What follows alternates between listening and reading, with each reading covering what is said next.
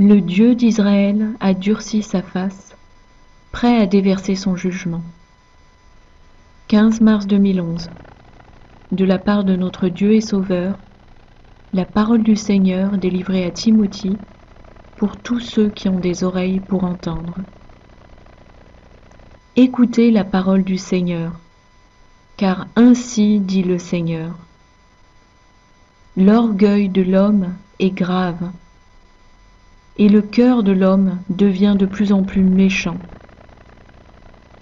Ses yeux sont obscurcis, son esprit rempli de tromperies. Voici, toute la terre est corrompue et remplie de violence.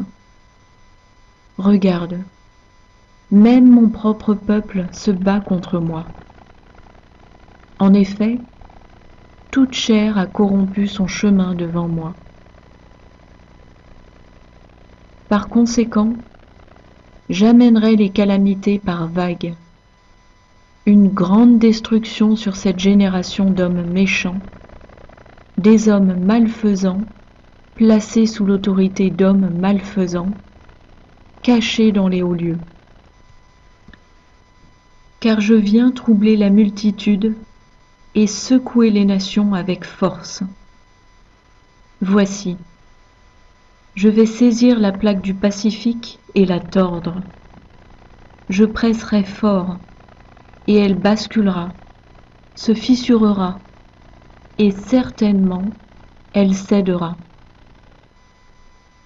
Ce jour-là, les eaux reflueront vers les côtes. Je cesserai de maintenir l'océan à sa place.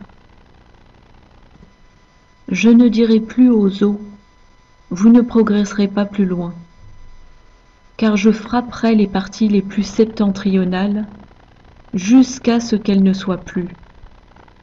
J'étendrai ma portée jusqu'au sud, dans les grands trésors de glace et de neige, et je les pousserai dans la mer en ce jour. Et les mers augmenteront d'une grande mesure devant les yeux de toutes ces multitudes, devant les yeux de tous ceux qui habitent près du littoral, et devant les visages pâles des riches, qui, par la cupidité et pour un gain inique, ont construit de grandes tours et des maisons extravagantes sur le rivage. Alors regardez, soyez stupéfaits, ô gens insensés qui bâtissez sur le sable. Regardez à quelle vitesse la calamité s'empare de vous, comment les eaux inondent et engloutissent les rivages, comment le pays rétrécit sous le pouvoir de la mer, dit le Seigneur.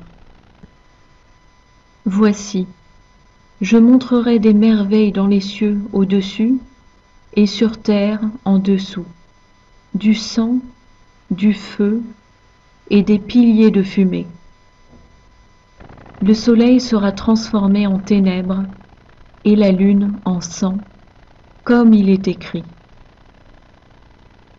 Les forteresses de Satan seront englouties, et toutes ces vignes de méchanceté seront déracinées et jetées dans les profondeurs de la mer. Ville après ville sera accablée et démolie lorsque j'appellerai la nature à s'élever et combattre contre vous. Alors vous saurez que je suis le Seigneur. Car la parole du plus sage parmi vous faillira, et la connaissance des plus savants sera considérée comme du fumier lorsque calamité sur calamité éclatera dans tous les coins, dit le Seigneur. Voici, chacune de mes larmes brûlantes que vous avez causées pleuvra en des torrents de pluie diluvienne, avec une grande quantité de grêle mélangée au feu et au sang. Elle inondera les grandes et moins grandes villes, tandis que d'autres lieux seront laissés complètement désolés. Voici, le sol sec et fissuré parlera dans le creux des ruines, comme un testament contre vous, ô génération la plus perverse. Car ma colère s'est enflammée, la chaleur de ma fureur est montée sur ma face, et elle brûlera la terre, au jour où je vous rémunérerai pour toute votre méchanceté, dit le Seigneur. Par conséquent, écoutez mes paroles et écoutez le son de cette trompette. Car moi seul suis Dieu, et il n'y en a pas d'autre que moi. Yahuwah, celui qui cause l'existence. Yahushua, celui en qui toute chose consiste. Oui, celui qui est et était et doit venir, le Tout-Puissant.